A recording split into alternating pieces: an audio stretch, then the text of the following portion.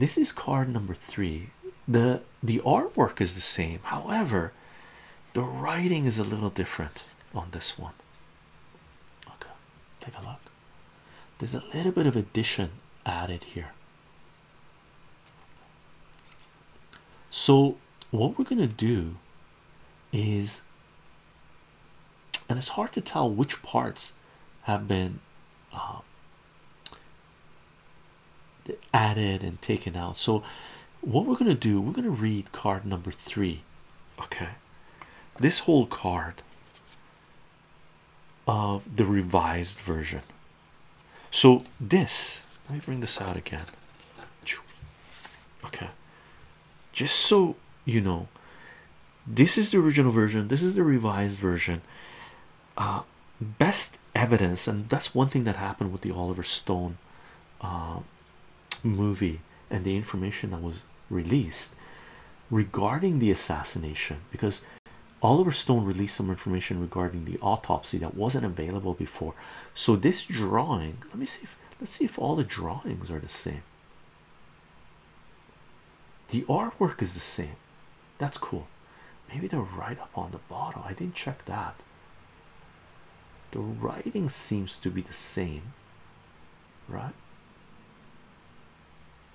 But what we're going to do, we're going to read the revised version of the autopsy because this is incredibly important, right? So, this is from 1992 revised version of the coup d'etat assassination of JFK trading cards, right? We already read, we already took a look at the the artwork, a sort of a, a storyboard of what took place. Let's read the background.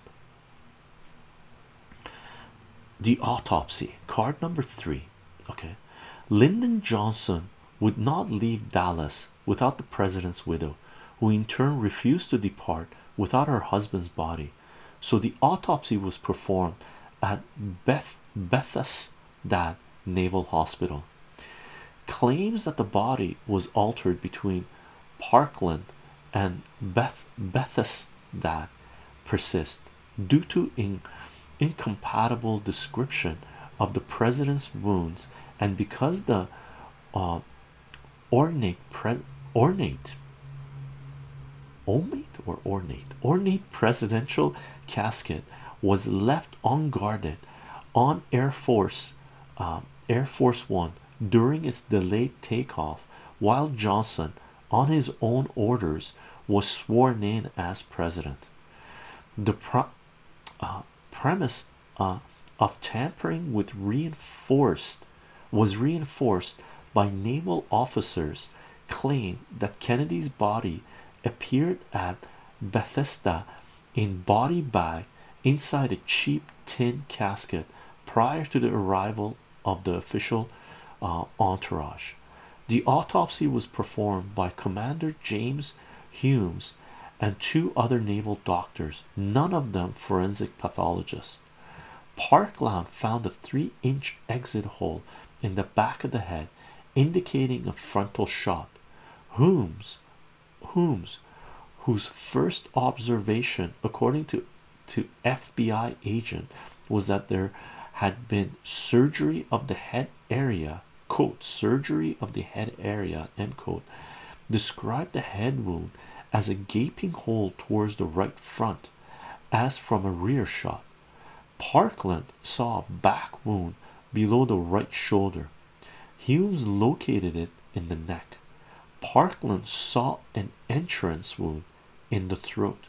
Humes called it a uh, trick, tri trichotomy. After being told of his mistake the next day, and without having followed the path of the bullet through the neck, on orders from an unnamed general, Humes concluded this bullet had exited from the throat. He then uh, burnt his primary autopsy notes. His findings, along with a bullet found on a stretcher at Parkland, gave rise to the Warren Commission's magic quote magic bullet theory end quote. But in 1992, former Parkland doctor Charles Crenshaw broke 29 years of silence, stating he had observed that Kennedy was shot from the front.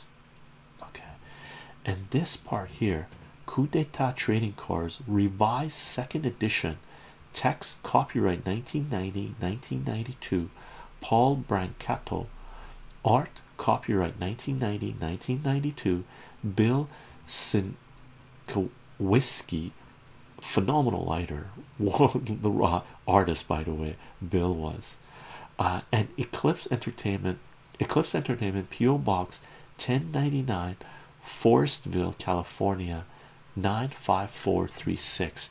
And here's the copyright for the 1990 version. So here's the original version, and you can see the paper on this is whiter, right? So the first version came out in 1990, the second version, revised version, after the uh, Oliver Stone movie, and the documents that were released came out in 1992. Very cool, very cool.